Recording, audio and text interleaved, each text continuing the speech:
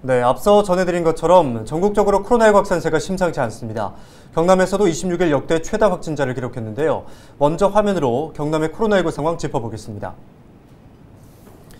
26일 경남의 코로나19 신규 확진자는 모두 527명입니다.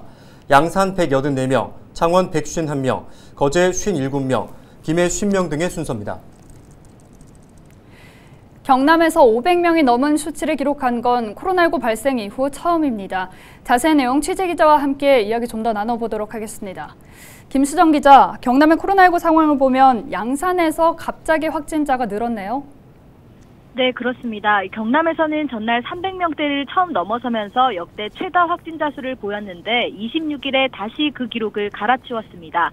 지역 방송사에서 집계를 할 때 전날 오후 4시 반 이후부터 발생한 숫자를 보는데 그러니까 25일 오후 4시 반 이후부터 26일 오후 4시 반까지 무려 500명이 넘게 확진자가 발생한 겁니다.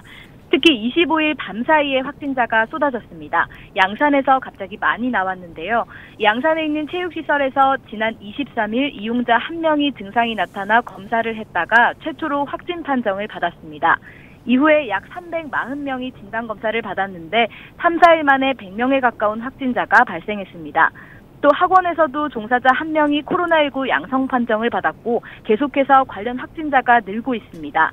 양산시 방역당국은 심층 역학조사를 벌이고 현재 방역을 완료한 상태라고 밝혔습니다.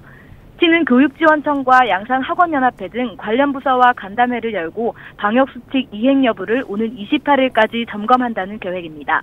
추가 확산을 막기 위해 체육시설은 다음 달 6일까지, 관련 학원시설은 다음 달 4일까지 휴업 중입니다. 네, 양산뿐만 아니라 창원에서 거의 200명에 가까운 확진자가 나왔는데요. 아무래도 인구가 많다 보니까 그럴 수 있을 것 같은데 다른 지역의 상황은 어떻습니까? 네, 창원에서는 유흥주점과 의료기관, 다중이용시설 등에서 집단 감염이 발생해 확산세가 이어지고 있는데요. 창원시는 이틀 사이 전체 확진자 가운데 18세 이하가 30% 정도를 차지하고 있다고 밝혔습니다.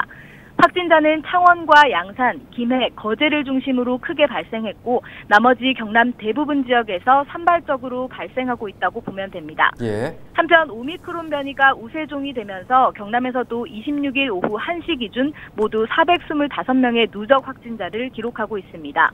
창원이 가장 많고 이어서 김해와 진주 등의 순서입니다. 오미크론 변이가 우세종이 된 지 정말 며칠 만에 확산이 본격화됐잖아요.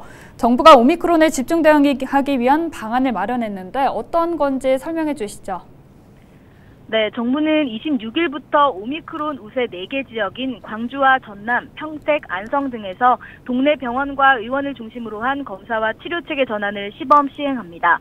기존 PCR 검사는 60대 이상 고위험군이나 우선 검사 필요군에 집중하고 이외 대상자는 보건소 선별진료소 등에서 신속 항원 검사 방식으로 전환되는 겁니다.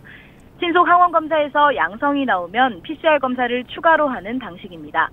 경상남도에서는 다음 달 3일부터 시행되고 그에 앞서 이번 주 토요일부터 전국 256개 선별진료소에서 신속 항원 검사가 가능해집니다. 경상남도 방역당국은 최근 추세를 보면 앞으로 경남에서도 확진자가 더 늘어날 수 있다며 선제적으로 대응하고 이 재택치료와 신속 항원 검사에 대해서도 도민들에게 상세히 안내하겠다고 전했습니다. 네, 지금까지 김수정 기자와 경남 지역의 코로나19 상황 짚어봤습니다.